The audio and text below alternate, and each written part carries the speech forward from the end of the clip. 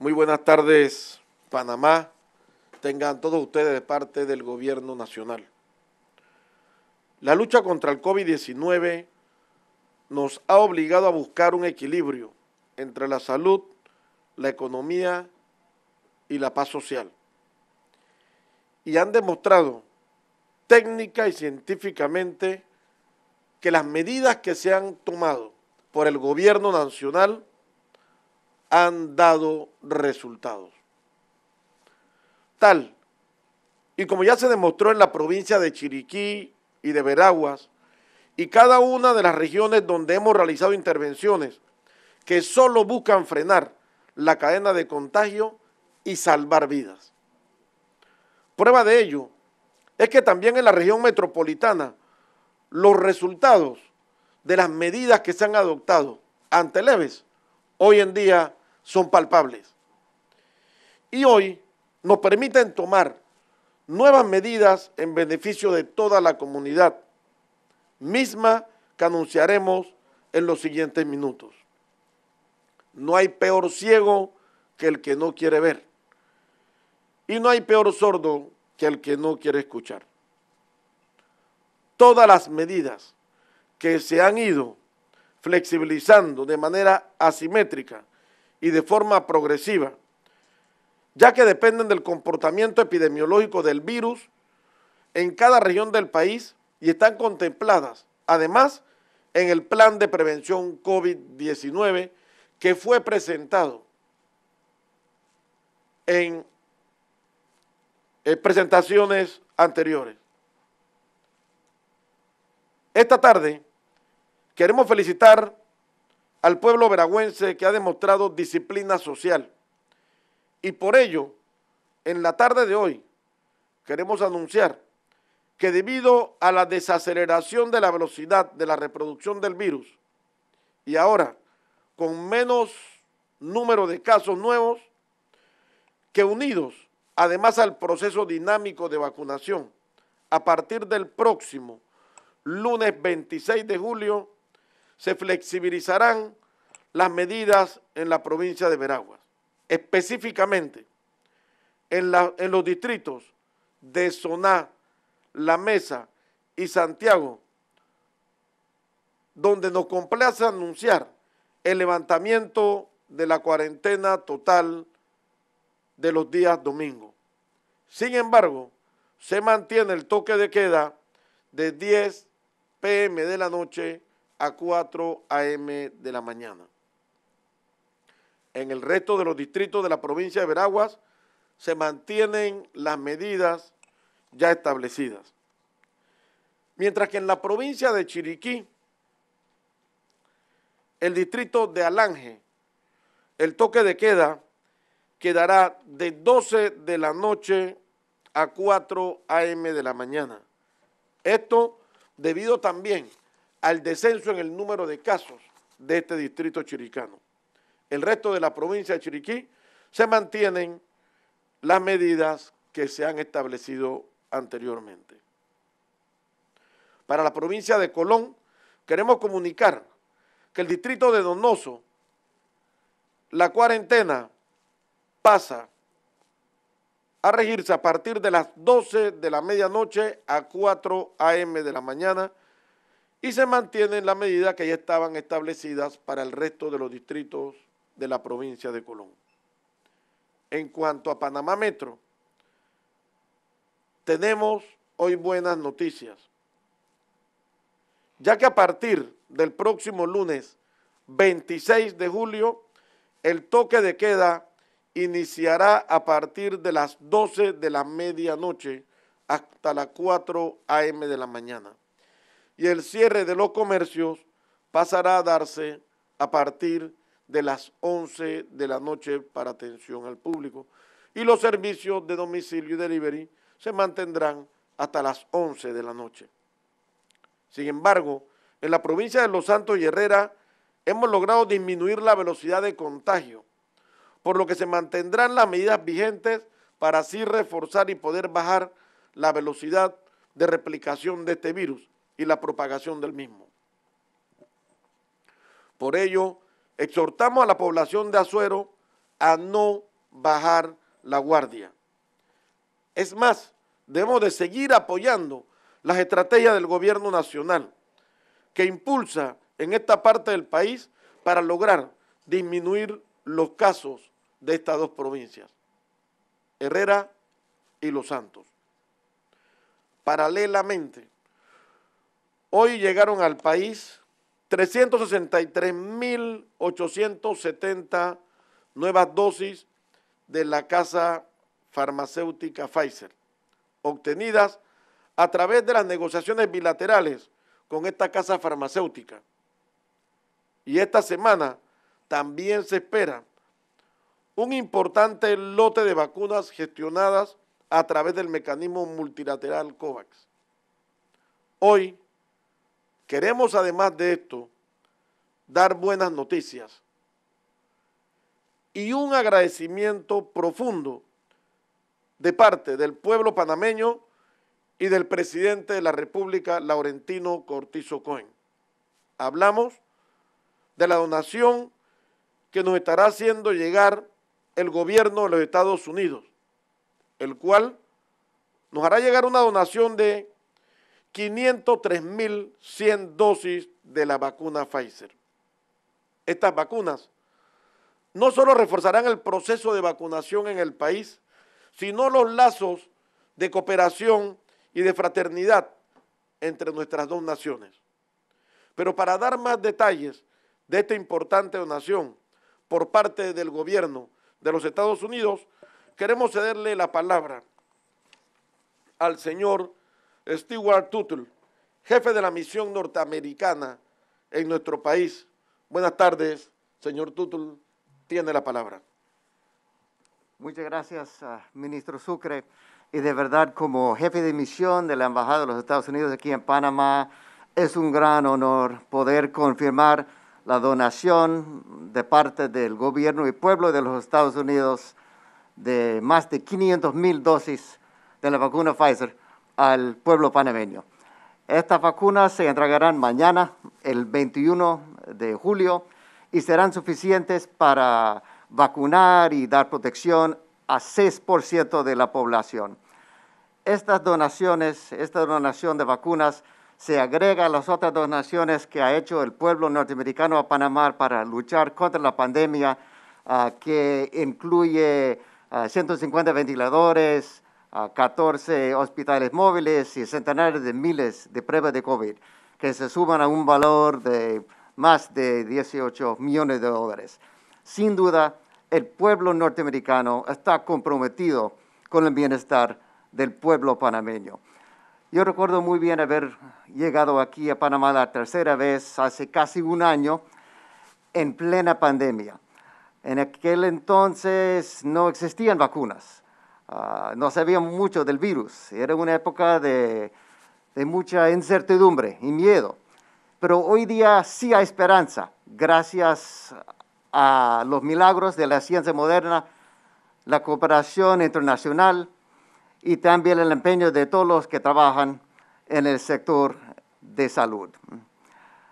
Definitivamente, nosotros estamos comprometidos con Panamá y yo garantizo que seguiremos siendo nosotros parte de esa esperanza aquí en este país, al continuar nuestra ayuda al pueblo panameño, no solo en el sector de salud, sino también en la recuperación económica.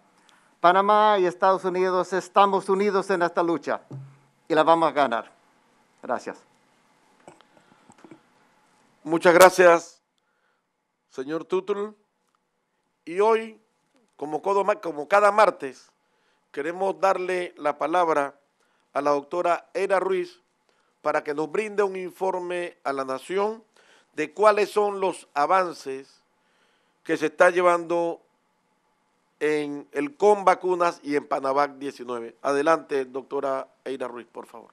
Muy buenas noches, gracias, señor ministro, a todos los que nos escuchan y nos ven en esta noche. Todavía recordamos el primer lote de vacunas que llegó a Panamá, que lo recibimos con mucha esperanza y mucho júbilo, que eran 12.800 dosis. Al día de hoy hemos recibido 2.398.590 dosis que se suman a todo este esfuerzo que se está haciendo a nivel nacional. Las 363.800 dosis que ingresaron el día de hoy servirán para avanzar esta semana, el día de mañana, que inicia una jornada importante, sin precedentes a nivel nacional. El total de dosis aplicadas hasta el momento, 1.890.415, de las cuales 1.395.000 corresponden a Pfizer. Es importante mencionar que gracias a esta donación del pueblo de Estados Unidos y su gobierno, más lo que llega por el mecanismo COVAX, vamos a poder tener nosotros en una semana alrededor de 966 mil dosis de vacuna para acelerar este proceso y esta lucha en esta pandemia.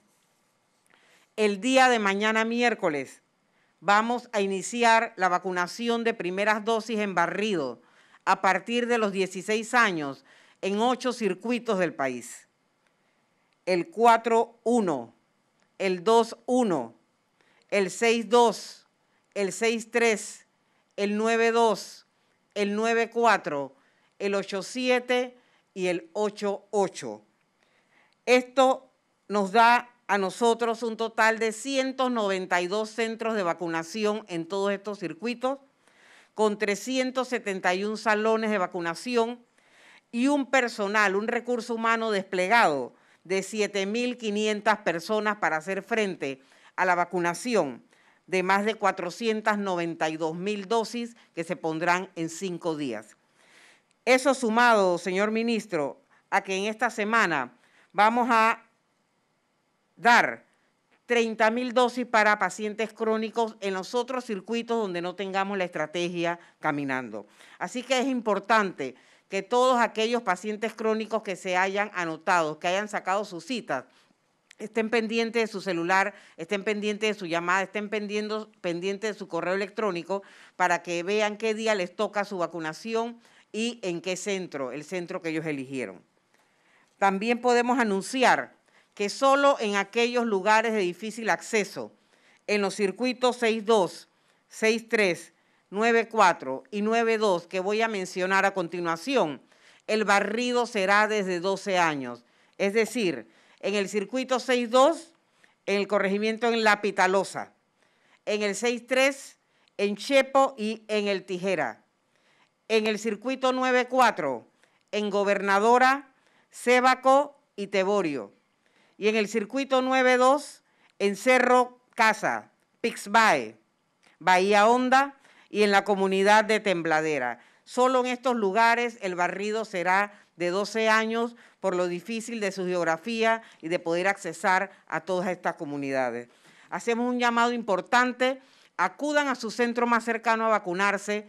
Tenemos ahora vacunas suficientes para poder avanzar de manera rápida y expedita en este proceso de Panavac y hacemos un llamado a todos aquellos que al principio tenían alguna duda de que vean y se hayan dado cuenta de que tener la vacuna salva vidas, tener la vacuna, si a usted le da COVID, le da de manera más leve y puede que no tenga que llegar a una hospitalización y a un cuarto de unidad de cuidados intensivos. Así que invitamos a todos, aprovechemos esta oportunidad, estamos en todo el territorio nacional avanzando con las instrucciones que el presidente de la República da a Panavac de hacer estos barridos de manera disciplinada, ordenada, pero con eficiencia. Muchas gracias, señor ministro. Muchas gracias a usted, doctora Eira Ruiz. Debido a la evolución de la pandemia, tanto a nivel nacional como internacional, de la misma manera, Panamá evoluciona y cambia sus estrategias. Con respecto a las estrategias que hemos estado implementando en los puntos de entrada al país, hoy podemos anunciar que los requisitos de entrada a la República de Panamá para pasajeros que ya estén vacunados contra el COVID-19 siempre y cuando su esquema esté completo a partir del lunes 26 de julio. Uno, para aquellos que tengan tarjeta de vacunación COVID-19 que indique el registro de la última dosis de por lo menos 14 días antes de llegada a la República de Panamá.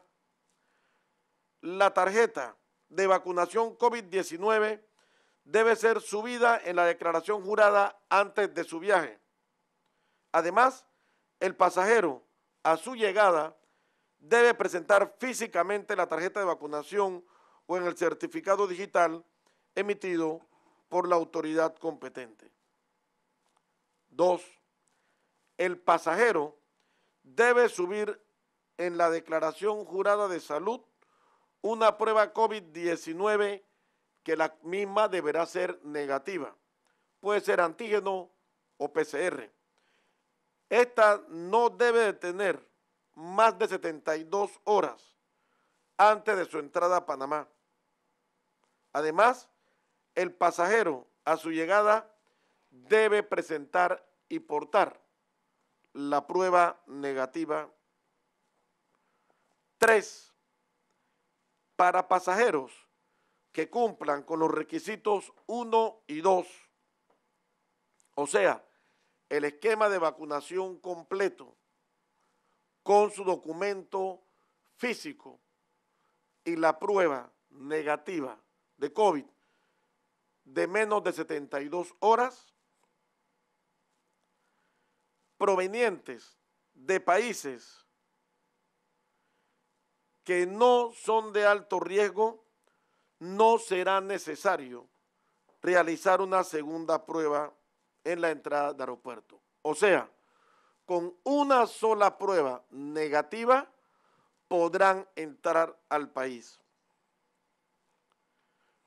Los pasajeros que cumplan con requisitos 1 y 2 provenientes de países que el MINSA identifique como países de alto riesgo deben de realizarse una segunda prueba de eh, COVID-19 a costo del pasajero en los puntos de entrada al país.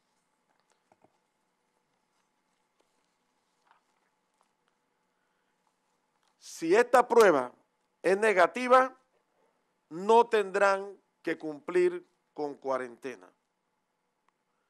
De no contar con la prueba COVID-19 de un máximo de 72 horas, esta será obligatoria realizarse a costo del viajero. Y si la prueba sale positiva, el mismo tendrá que realizar una cuarentena de 14 días a costo del pasajero. Ahora bien, los requisitos de entrada a la República de Panamá para pasajeros que no cuenten con una vacunación COVID-19 que esté completa. Uno, el pasajero debe subir en su declaración jurada de salud una prueba de COVID-19 negativa, que puede ser PCR o antígeno. Esta debe tener un máximo de 72 horas antes de entrar a Panamá. Además, los pasajeros que provienen de los países que no son de alto riesgo deben presentar su prueba negativa de menos de 72 horas. Pero de no presentarla, tendrán que realizarse una prueba de COVID-19 en los puntos de entrada al país. Estas, a costo del viajero, de resultar negativa, no tendrán que cumplir con cuarentena. Tres, los pasajeros que provienen de países que el MINSA identifiquen de alto riesgo deben de realizarse una segunda prueba COVID-19 a su entrada al país. De ser negativa, deberán cumplir tres días de cuarentena a costo del pasajero a partir del lunes 9 de agosto de este año. Estas medidas forman parte de nuestra hoja de ruta para seguir reactivando el sector turístico y apoyando los procesos de reactivación económica que lleva adelante el gobierno nacional.